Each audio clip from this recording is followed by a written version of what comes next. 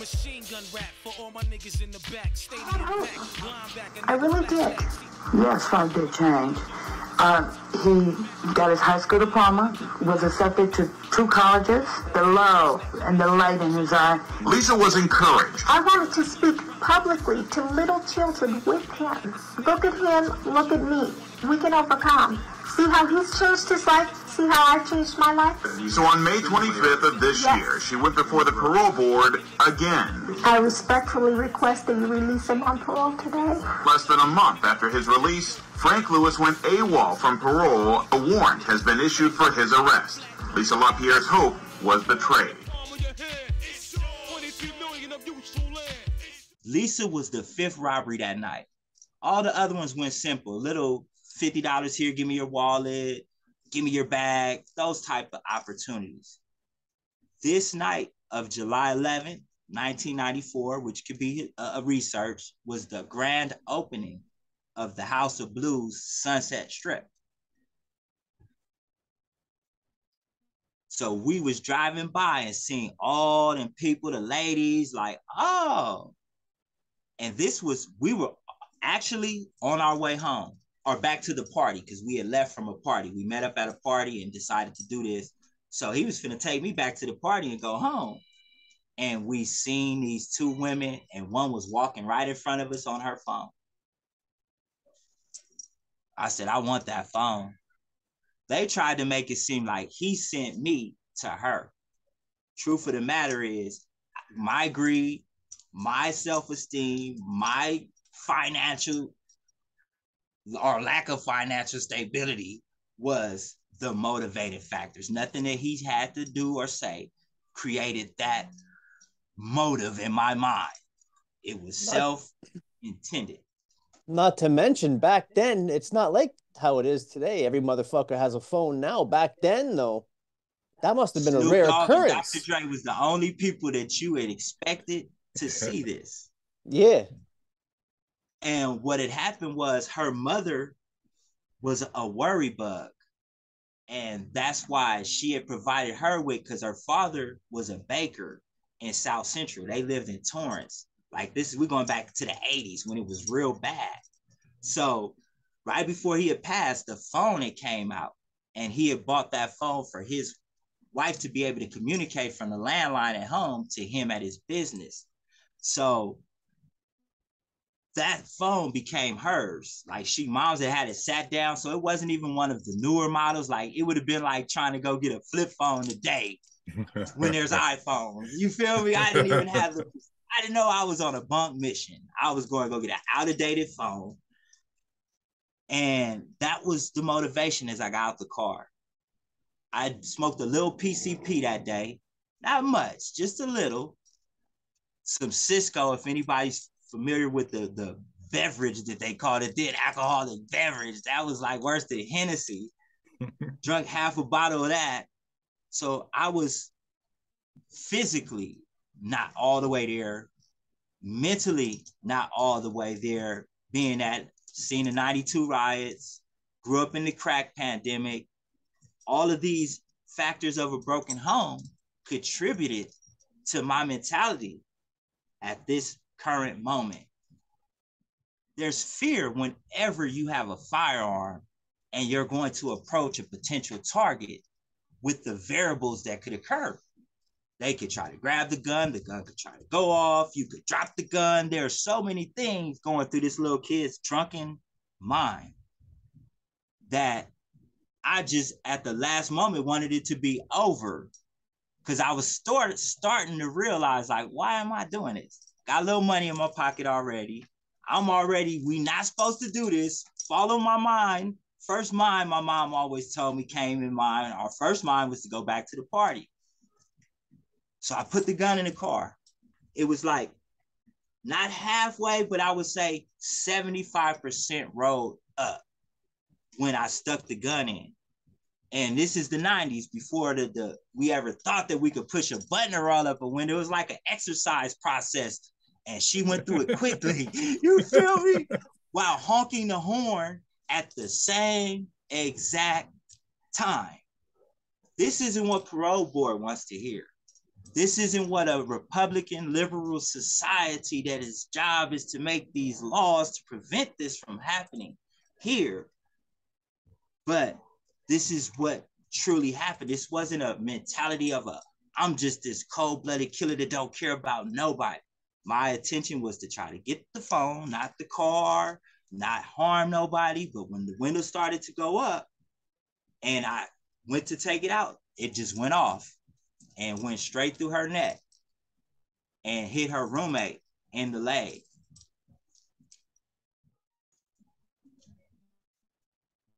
I remember it. This said, I gotta have a drink. I Yep. remember it. I remember the blood, the scream. Somebody, I don't know which one it was. I never even asked. From when I got caught in the parole hearings and all that, I never asked who said, I'm shot. But I heard that, I'm shot, which made me think only one person was shot. Then I thought, did I kill somebody? But all of the blood, it was like an explosion of blood. I ran the wrong way. The getaway car was this way, I went that way. It, it didn't take me long to realize because I seen, I was looking for the alley to dip in. I'm like, hold on. So I start running back the other way. So I ran starting from the driver's side where I shot from. Now I'm on the sidewalk coming because they were parked. So I ran up on the driver's side. Now I'm running back towards the passenger side. She tried to get out. And I swear this became a life changing moment when, or event when I started to mature and learn and get counseling. That the fear that I put in her when she saw me, because Lisa was slumped and she was beginning to open the door to scream. She's screaming for help and thinking I ran the opposite way, not expecting. She told me this at parole board, Samantha Holcomb. I'm sorry, my apologies, because she's still a survivor. I don't know where she is, but at parole board, she told me she thought I was coming back to finish her. Think of that fear. The I seen a change of complexion, and we're talking 234, 234 in the morning was the first call they got of shots. He's coming to kill me. Oh, lady, I just ran her wrong. You see how things happen. Like this incident that just happened. It was uh, somebody posted something on Instagram and it got somebody killed. Presumptions, assumptions, witness testimony. It gets mercury. It gets so damn gray there. That's why I'm going to be an attorney so that I can help clear up some of these gray areas in the law. I get back to the car. And that's when, like I explained earlier, going past Roscoe's, the famous strip where Nipsey Hussle just got his start, a Walk of Fame. It, we're passing celebrities. Ain't no telling who we drove by on our way to commit this crime. And that's why I did 10 years and nine months. So now we're back to that boardroom they decided they was gonna um let me know they got tired. It's time to go. They say, uh, yeah, we're gonna hold you here until your court date. Somebody will be coming to talk to you about formal charges. Go to the shoot. No, no, they said they didn't say nothing but that. And they sent me back to fire camp. I got there while they was programming. They was making food. It was a Friday actually. So I was supposed to come home on a Friday. And I ate with the homies we busting out one last spread and two uh the institutional security came, picked me up, put me in handcuffs, took me to the hole. That was June. I stayed there until August in the hole. Keep in mind, I was supposed to be before court within 72 hours per my due process 14th, 15th Amendment rights. Eighth Amendment, cruel and unusual. I'm sitting in a little bitty cell by myself, isolated, no unsupervised phone calls, no visitation, nothing. Until we figure out what to do with this guy that just got paroled by the state of California parole board. That must be one of the most stressful times of my 42 years. How long did prayer. it feel like for you being in that little room? Does a Two month? years. Yeah. two years. It felt like two years. Cause think about it. I was in there three months, no, two months. And I've got to what all I've got to think about. I should be at home right now. I should already be starting a job, doing school. I'm so far. I should have a wife by now and a child on the way. This is what I that's it felt like years. Man, it's so like they, somebody they finally come see me though. The superintendent of the institution, that lady that faced all them charges and all that. And she, because I've been filing grievance complaints, like I feel this is cruel and unusual. My mom been calling and calling, so she came to say, we're gonna send you to the lockdown gang unit. And till we figure out what the district attorney, Danette Meyers, is gonna do with your case. All right. So they sent me to one of the worst units in the facility, high level gang activity. And there's 30 Crips and three Bloods. Oh shit. Bullet Low, J.O. Felony. He said, I come from Morrow Cottage, the most hardest unit in Paso. I already went to Napomo, which a lot of people like Dubs, they was over there. They would debate that that was the hardest unit, but I came from there after supposed to go to fire camp.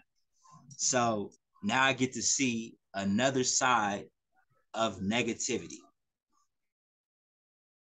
Once I got off of lockdown, I got to get a phone call without they would put my calls on the speaker and I could only call my mom. And they would listen to everything and staff member would be right there. So I got another phone call, even though I didn't trust that line either, but I got to hear a little bit of what was going on. And what led to my name coming up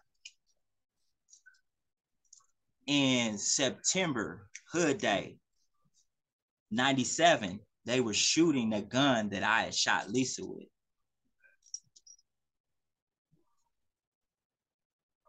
Police was called. They came. 15 homies got caught, and the gun that I did that shooting with, as well as the remember there's an unsolved murder on there now. Thurman Brown, that's his name. The unsolved murder. You get Thurman Brown, LA Times, Thurman Brown homicide report, unsolved murder. But somebody got convicted for it. But based on my name coming up, this man is free or however he would want to be called. No disrespect to him because he is trans of that community. But he obtained his freedom when they discovered that I shot Lisa with the gun he was supposed to have murdered Thurman Brown with. And That they is so convicted him. He was in prison doing life. In prison. Wow. That's so deep. And when I go to court, I quickly realize that that I'm not no longer gonna fly under the radar when the news was there. They had media coverage. Like I didn't know that my life of just flying under the radar and not being known was gonna change until I got to that court. Now keep in mind, I'm coming from California Youth Authority back to juvenile hall because I'm only 17. And this is after I went to that little lockdown unit with those 33 Crips. Some prolific individuals. There was there was actually the starting of something there that a lot of people, this is something you could Google too. It's called the New Black Panther Movement. So their founder, Taco, uh, Sino Beam, and Ken Dog, they were there. This is where that movement was started. And this woke me up into even more so. Now I'm coming back, and they like, I had a stack of cards. I got a card from everybody because I like nobody ever gonna believe I'm talking to the FBI, the ATF, all these people. So everybody gave me their business card. So I'm showing them, and they said, "Yeah, brother, the affliction of the man, and all this." You feel me? So I'm really getting into that, into Islam, because my big homie Lil Money, I was baby money from Crenshaw Mafia. Lil Money was at this facility, and he was the head uh, imam at the uh, chapel. Was studying Islam and getting ready to battle whatever I faced at court. Because in my mind, I'm like, I almost went to adult court for stabbing this guy. I'm gone for this. They're gonna try me as an adult and put me away because I wasn't fully aware of the laws yet. That was the biggest concern that was on my mind. And remember, I told you moms was in the game doing her thing. She was gonna get me a lawyer. She gave him five hundred dollars just to hear to see if he was gonna take the case, like a little retainer, just to hear. And he told her, regardless of what, I was gonna be tried as a juvenile because I was too young, and I was gonna be sent back to YA, and it would be a waste of her to give me money. She said, "Yeah, you would have paid me if he was facing life or something, but don't waste your money." He was real honest and upfront. I hit the juvenile hall facility. That was like a goal of mine when, or not a goal, but something I would like a wish. Like when I went to Y, like I wish I could go back to juvenile hall before I even knew I would be doing that. And the level of what we call juice, I think what would be the proper word for juice? Uh, privilege. It was on another level. Media up here for this dude. He's been locked up for four years. The longest person that was in there prior to that was nine months because you these kids getting tried as adults now. So they hit into everything is changing. And I go to see a facility that I started from the ground up in Sylmar, California. I heard them in 95, 94 talking about making a new facility that was going to house the kids tried as juveniles facing adult. So they was going to send them there. But I found out now when I got there, I see the building, the homie taking me on the tour because the guy who was in reception when I pulled up was an OG homie. And all the watchers that are gonna watch that was in Sylmar in the 90s. They remember the homie with the curl, OG dude from Athens Park, one of the founders, was a staff member there. So he remembered me off the top. Oh, You're back from YA, young Frank. And he's explaining to me what's changed. And I see that the soccer field has become this new prison looking facility which is now like how Nelles, YTS, Paso, none of those institutions exist today. This institution is now RYA. I seen it come from the ground up. This juice card off the bat, there was a homegirl there. She my friend on Facebook. Shout out to Miss Lewis, straight Inglewood native. She made sure that I have burritos, got to see the movies that I've been missing out on. So it was a hell of an experience but going to court, they had me messed up. I was tried as an adult on the first day I go to court. My heart dropped. My mom said, Oh no. this is a whole new era. I'm in a court I've never been in before, and I've been to JJC, to uh, uh, Inglewood Juvenile Court. I've been through all those little Los Padrinos Court, this now was Sylmar Court, the Valley Court, where we want to make example out of young thugs to keep that out of here, so we don't have to migrate to a whole nother place. We gave y'all LA to destroy.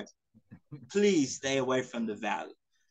So I went to adult court, and this is proof that the justice system works. First day I got there, they bounded me back. Like, no, you're not fit because at that age, remember, I did this crime in 94 the law changed to 14. They were looking at me as a 17 year old.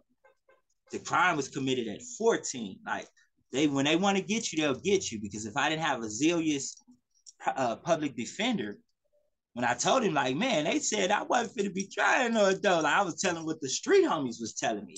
Like, oh, bro, you too young. So they were right. And I end up back before the same idiot, though. Like, damn.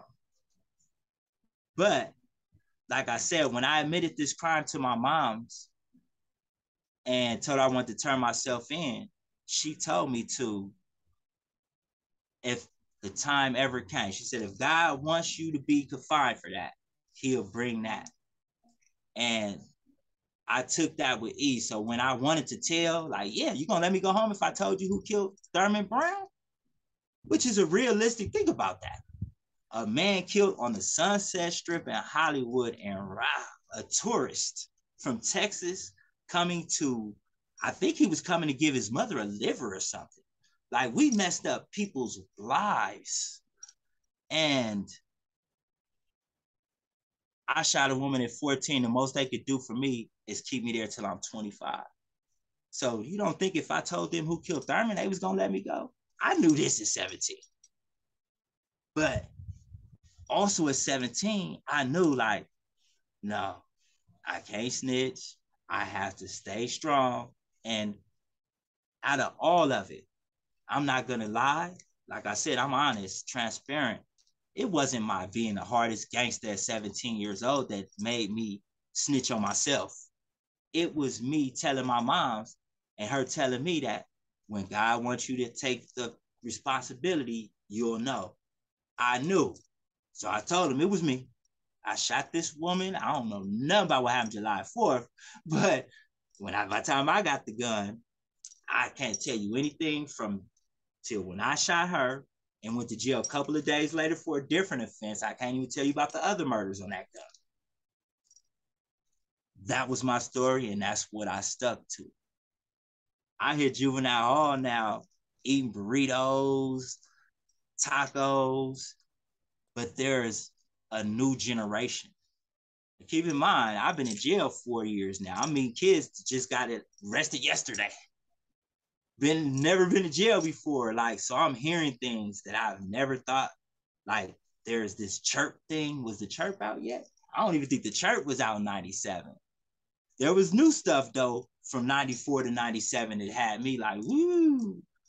So what this did is it added to me wanting to come home. The whole time I'm still telling myself, if I want to just move to Alabama and get that witness protection, all I got to do is say this. But I felt that God wanted my story. And this is Miss Lewis, Sandy Lewis. Shout out to her being a Sylmar Juvenile Hall staff. And she was only like 25, 26. I'm 17, finna turn 18. Her informing me of how to get a car. Like for me, all my life, I seen homies hand another homie some money and drive away in his lowrider. I never knew you'd have to qualify, have credit. She opened up my mind to a different train of thought. I decided the quickest way for me to do this, instead of fighting with this judge who clearly is an idiot, he sent me to a dope court and I shouldn't have been. Let me just go ahead, take a, I plead guilty and go start whatever consequence I got to start. In the process of doing so, there was this other dude there, a dude named Marky Boy from Sanford. Uh, crazy. He was like one of those people with like I seen in juvenile hall that I knew right then was prime for YA. He never made it though. They tried him as an adult and sent them away, but he was a very high profile case. I seen him when I got out on True Stories of the Highway Patrol. Uh, flipped me out like, damn, that's Marky Boy. But he was doing the most. He had a female staff. I don't want to name her, but she was bringing contraband in. On my 18th birthday, I had him bring me in some contraband. I was getting in contraband as well, but my birthday is when it went down and we did too much. And there was fights for people being drunk, smelling marijuana. I done turned the juvenile hall into YA, and they felt that at 18, it was now time for me to face the county jail. Whole different monster, being that I've never been. I went from 14 to YA. So damn, before I go further, I got to keep my youngsters in tune with wisdom. All of this isn't to glorify. What I'm doing is I'm showing how I took negative tools and made a toolbox. But what is the job of you young homies to do right now is listen to my story and reverse the roles from negativity to positivity. And as I go on showing my change, I'm gonna show you how I took out that bad wrench and replaced it with a good wrench. So you look at life as a toolbox. Yeah, we know how to graffiti. We know how to know who enemies are. We know how to identify hoods, where to go, where not to go. Useless information, unless you got a lot of chains on and don't want to be robbed and want to know what place to go to. Unless you want to worry about that for your whole life and not how to buy a house, buy a car, sign a lease, and grow, you just keep that same toolbox. After I went pled guilty, I seen my victim for the first time personally. Like what they tried to do was keep us separated. So she would come while I wasn't there because they were scared of me. Like news all there. They was making me feel like a celebrity monster type of person when I was just a, a, a intoxicated young 14 year old that had learned behaviors in a broken home environment that created a decision that I would regret for the rest of my life, but I shouldn't be judged for. Went back to the county after they busted us. Right before I know, as a matter of fact, I didn't even, that's what prompted me to plead guilty, as a matter of fact, going to the county. I wanted to stay, as a matter of fact, as long as I could with Miss Lewis and eating burritos, having the easier access to contraband. I hit that blood module and like, I gotta go. You would think a, a, a unit made for one gang that was made and created in 1972 through 75 for purpose of unity and fighting the aggressor would be a humble place to be. Worst jailhouse experience ever. And I went to court probably three days after my birthday is on the 11th. I went to court December the 18th. Get me out of here. I shot her. I'm sorry. Do what you got to do. So I only lasted probably three weeks in the county jail. They immediately sent me back to my to the youth authority. I was state property. Now I'm back. My biggest concern now is how much time I'm gonna do. I've already given him four. Shouldn't that time count? It's been mostly good. I haven't stabbed nobody. I haven't raped nobody. I haven't uh, uh, masturbated in front of the staff. These are things that were a common occurrence that I stayed away from. No. Start over, buddy, with an attempted murder charge. So I'm starting with four years. And this was 98 already because I they can't got me in 97, all that process. Now we ended 98. They say you going home 2002, you do good.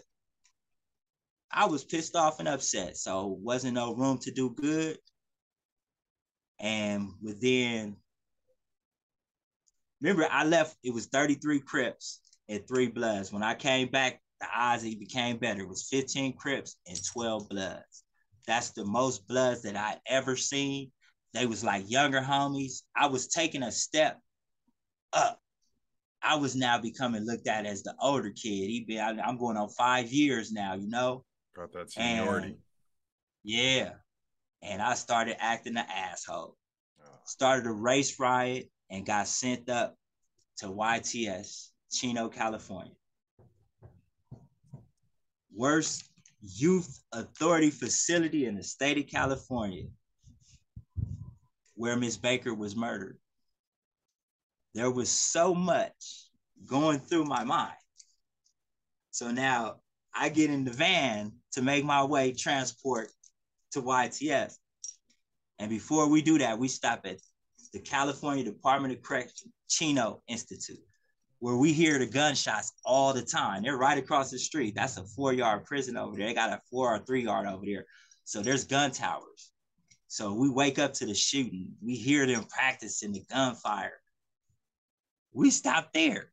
First, I thought they was gonna drop me off at the Chino prison, but we picked up somebody. No, no, no. I'm leaving from Paso to uh Chino.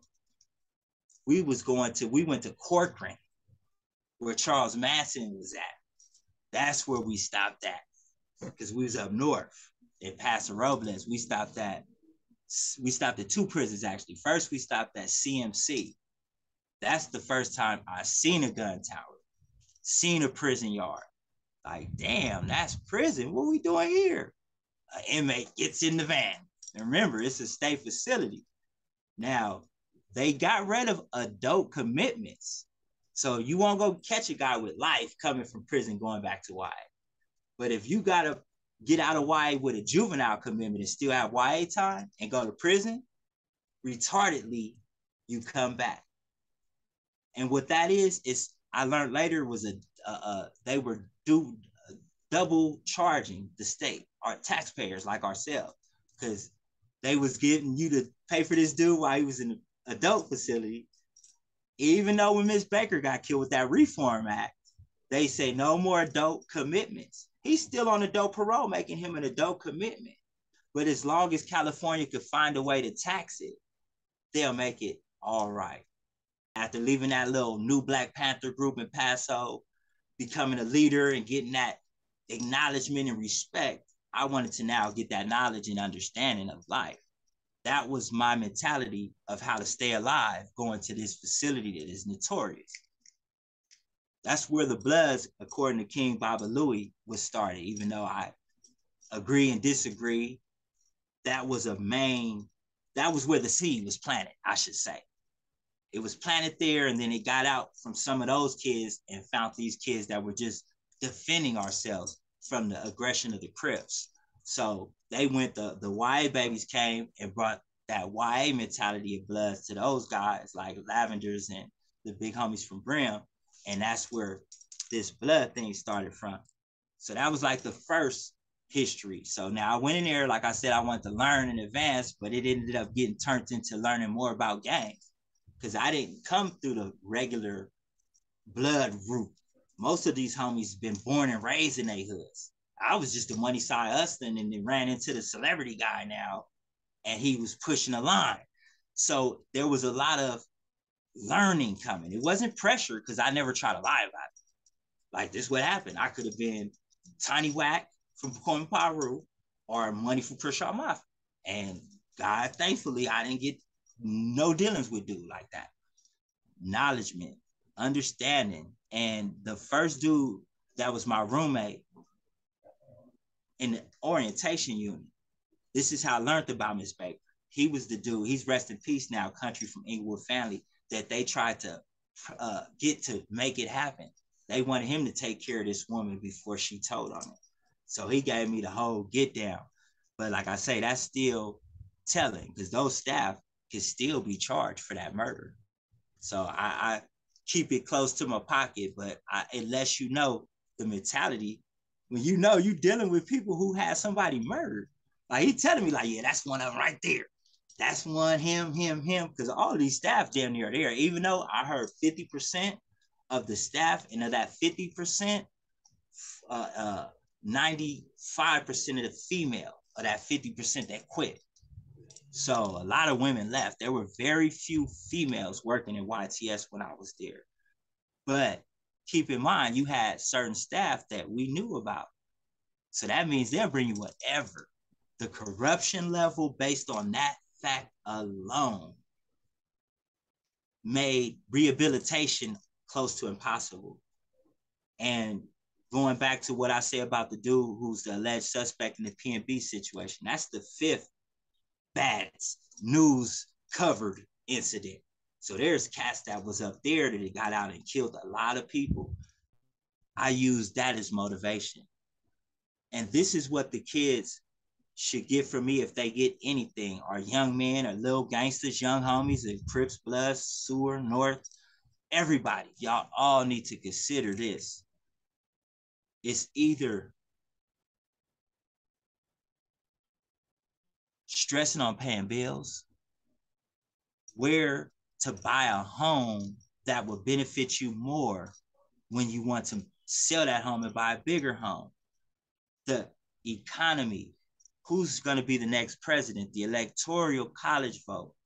These things here, you can learn and then come to this YouTube and hear people like myself on the baddest station ever and get what a broken home does to create what you don't want to be. Don't follow in our footsteps. This is what took me to change. My mom got busted crossing the border. She didn't actually get busted. What happened was there was three cars. They used to always bring six decoy cars and a backup just in case you get caught, got to jump out. They had a system and one of the dudes in the system got caught. And he told on all the cars, so they got everybody in jail. Moms was facing some time. They was telling her either you tell on who told or who was providing the dope, the link, or you do all the time. So this is what I was facing in 2001, as well as seeing that uh I didn't want to be a gang member on the streets because I had gang tattoos, cross hoods crossed out. Like y'all thought, what's his name? Uh, Fight Fight Crip. Oh no, I had things crossed out, and I was just looking at myself. We couldn't barely see through the mirror in the institution; it's so scratched up. But I looked at the mirror emotionally and said, "This ain't what I want to be." The woman Lisa that I shot, she went to the board, like how my mama was going to get me to court she was going to get her voice heard by the parole board. So now I have to look at the woman I shot. I have to hear what I did. So justification can no longer be on the table because you got reality. You can't justify with lies and fiction and drug use reality because reality is what it is. And I was twisted and she helped me. This is my victim, Lisa. Rest in peace. She helped me understand first and foremost, she didn't hate me because she was white, even though some of why I shot her was because she was white. Because I don't, I wouldn't have went up to a colored or Latino person car like that. So I know I could say that with hundred percent confidence. I was not racist, but I was prejudiced and biased and angry. Learning all of these things and then the devil always has to come, as you'll see through my whole story, to try to distract me.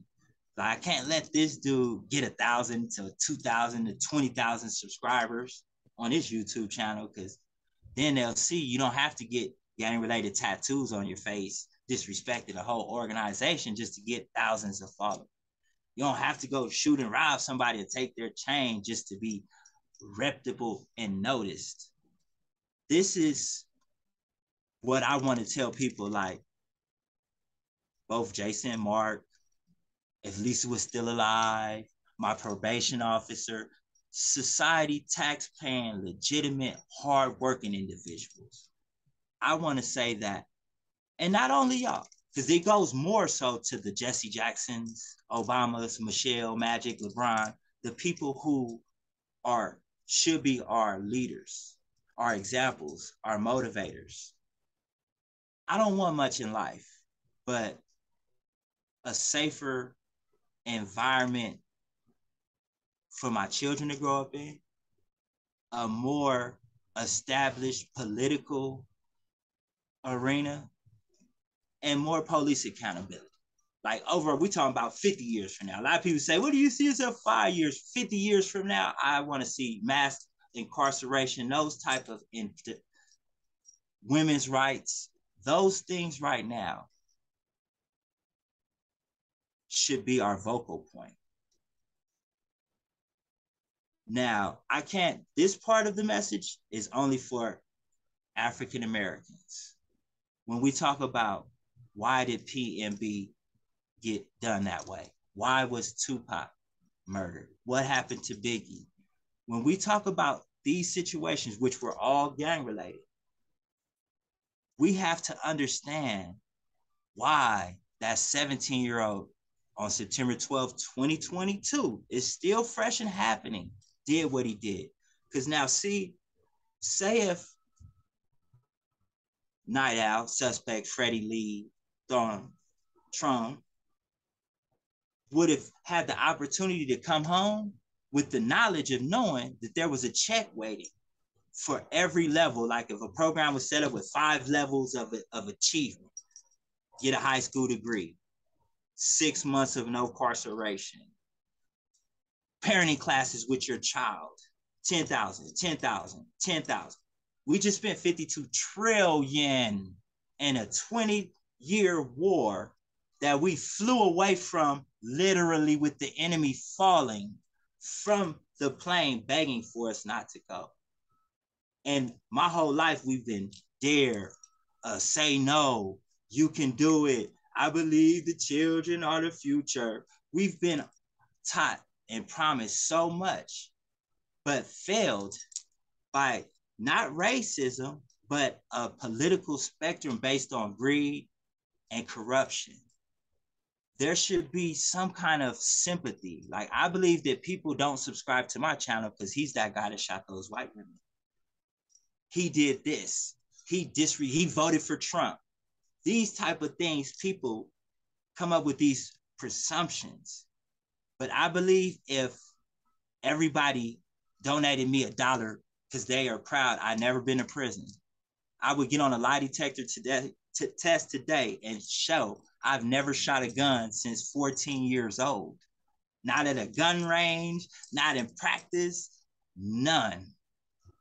If everybody gave me a dollar for being proud of me for doing that, and the next time a 17 year old in the car with his daddy looking at him pathetic and weak because we can't eat tonight, and somebody gave him a dollar if he decided to go file a job application instead of go rob somebody, we could change the way that people react because we know money is the main source of the trigger. Let's just give it to these people for doing something that's positive. But at the same time, and this goes back into the story of me getting ready to go home and what my mentality was. You have to earn everything. Like this reparations and Social Security and Section 8. That is how we were talking off the camera earlier about how they were dangling that freedom over my head. That's what the Democratic Party has done to the disillusional can't claim party because they don't vote, don't understand the none of that. They've been dangling food stamps and all that over your heads in order to keep you in line with something. Like I just right now, what I'm doing as, as work is I'm part of a political campaign to try to get certain Democrats elected here in Nevada. So I get a random list of names of registered voters to knock on their door. And this is an assembly election for the assembly members. So I'm in influential areas where there's mansions. I'm walking around amazed. Barely anybody comes to the doors, but I happen to get one of those Republicans that try to belittle me quickly. And I, in my mind, I'm like, oh, you one of those MAGA supporters. See, I voted for Trump two times, but I'm not a Trump supporter. I'm a supporter of a presidential candidate that's not a politician. There's a huge difference there. Yeah. So when I get down to it, and I tell this person, hold on, hold on. Who do you think I voted for president? They didn't even say Hillary Clinton. Obama, of course. I said, now come on, come on. Before you call the police or kick me away from your door, release the dogs on me, mister. Answer me this. Wasn't Hillary Clinton the last person to go up against Trump? So, sir, was that a test? Or were you just trying to be misunderstanding to or racist towards me. And he stopped. Now, most people be like, F you and you ain't nothing, black power. And would have had the police or the dog, any one of those negative situations transpire. But that man turned around and said, you know what?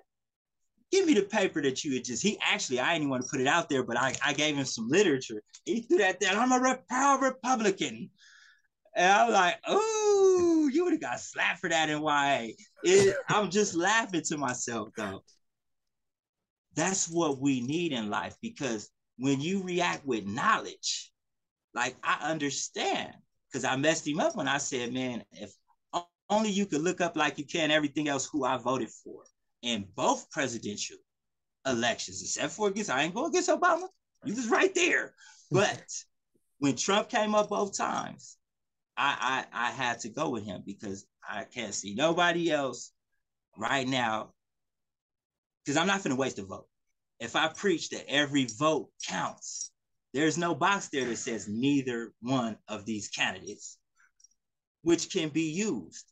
So now I say all of this because these are things that were going through my mind because there was a very big election while I was in YA, and that's one of my idols as a child. When Arnold Schwarzenegger popped up, Governor of I said, California. Wow, I swear.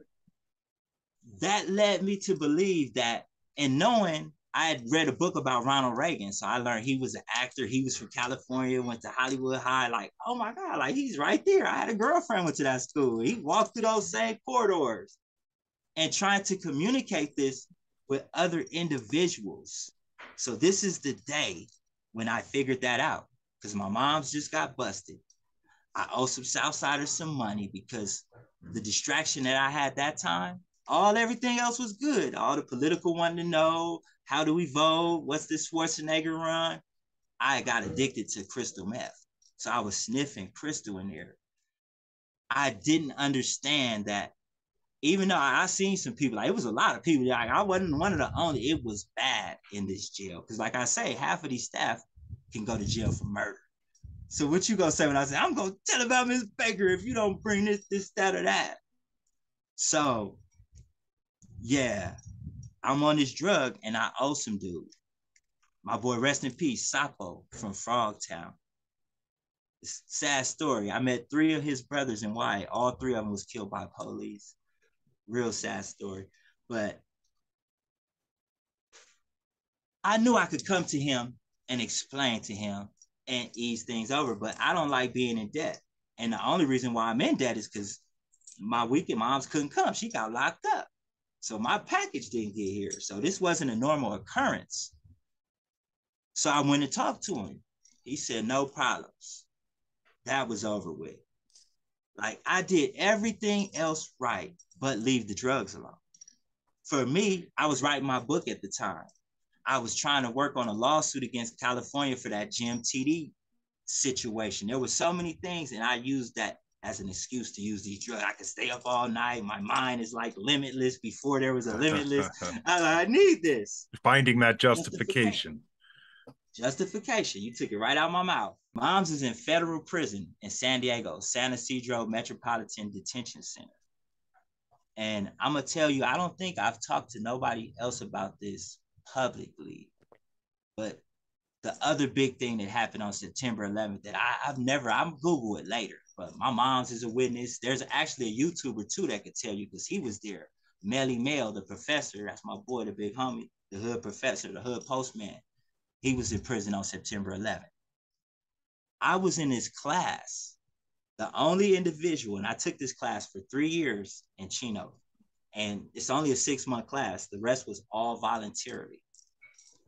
This was called the 187 Psychotherapy Di- Dianalysis Group.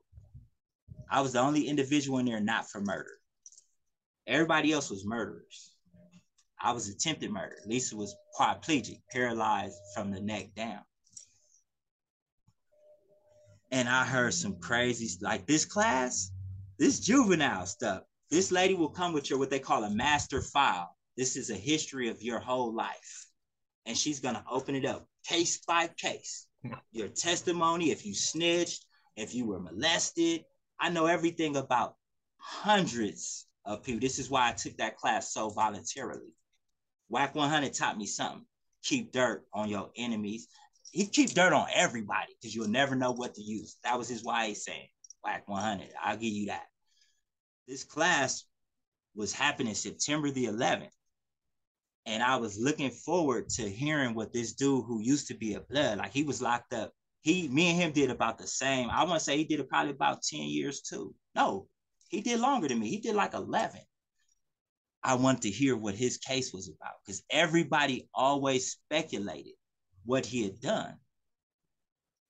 And he was on the sex offender unit. So we thought he molested a child or something. Like we always thought this. So September the 11th was the day he was going to talk about his case. I remember waking up that day.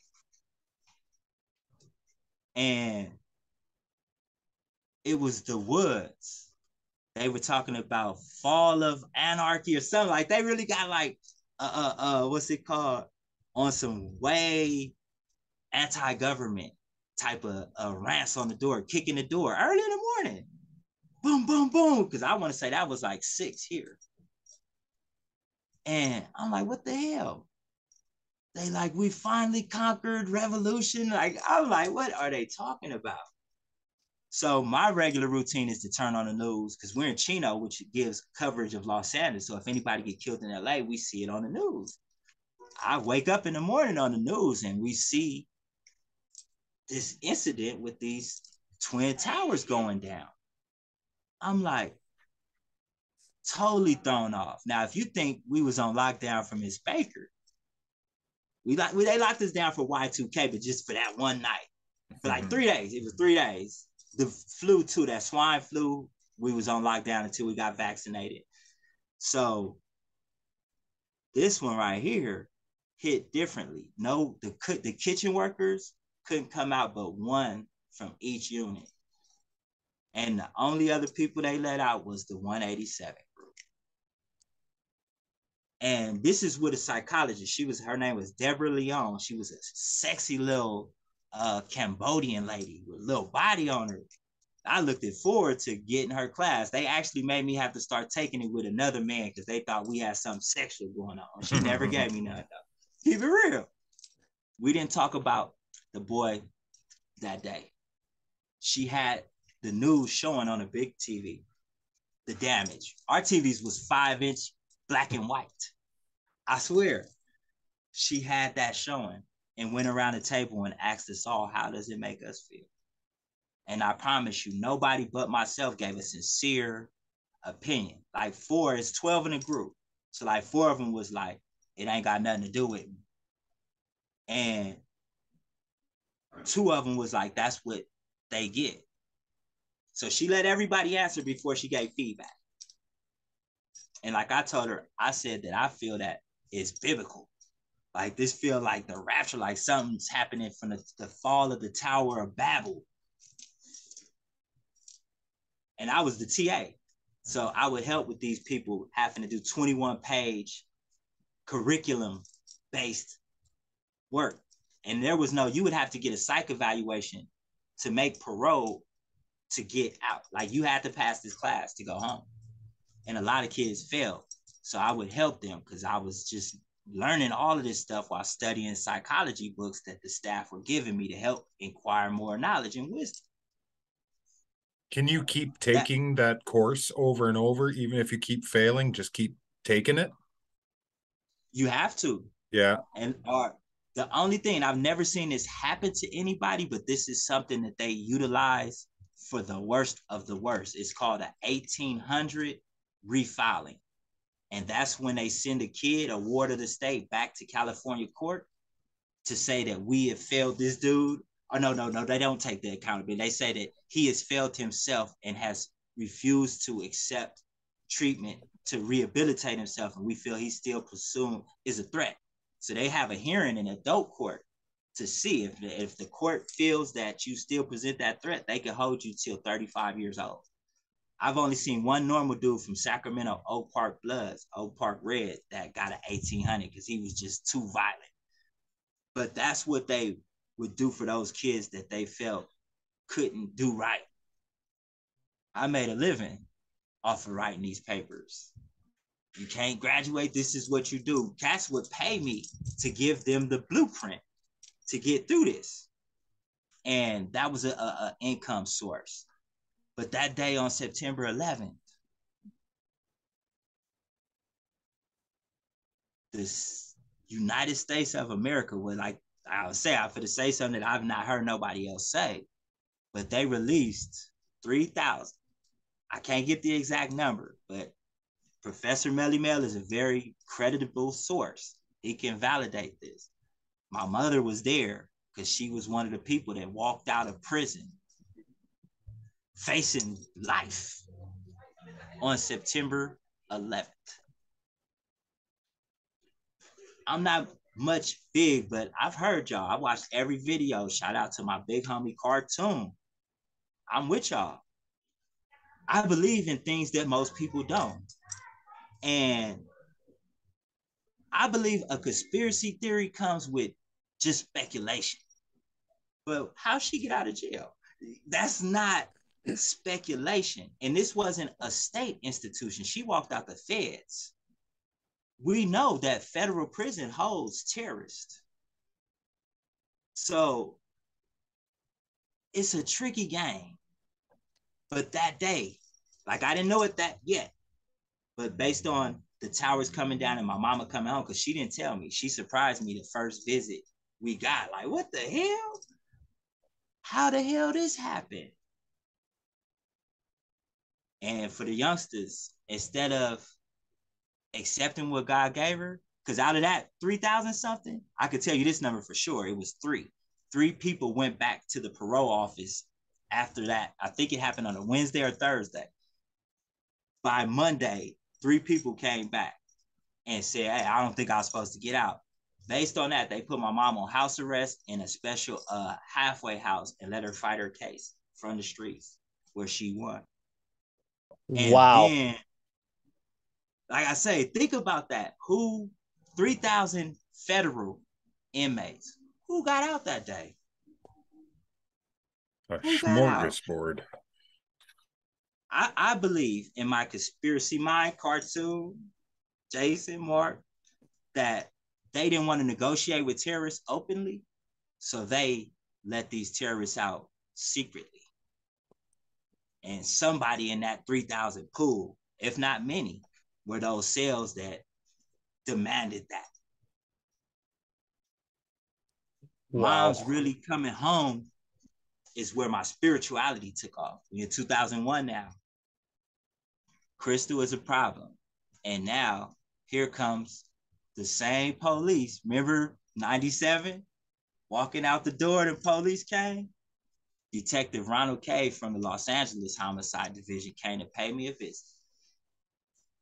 Said my crime partner is finna on trial for like he was in the county jail this whole time went through life changes, institutional changes, growth changes, and he's been sitting in one cell in the county jail in High Power, waiting to go to trial for his murder trial, death row trial. They're trying to get everybody they can to come to court and bear witness, no matter what your testimony was. There go that dangling stuff over our head. Some people that have been in prison for years and got life took that as an opportunity to come down and get on the stand. I took it as an opportunity to try to come down and get more information on who told on me. All 2001. Long story short, they found him guilty, sent him to death row. Moms came home. I let go everything negative. I didn't snitch. I did everything right. But the the crystal. So now I go up to parole board in 2003. Still making changes. Mom's beat her case. She working on a house somewhere. Got my sister back. Life is changing. And then I go to board for parole. And they deny my parole. After nine years, they say, and now get this, it's three board members got to come up. Two out of one got to make the decision. And they tell me it's two white, no, one white and two black.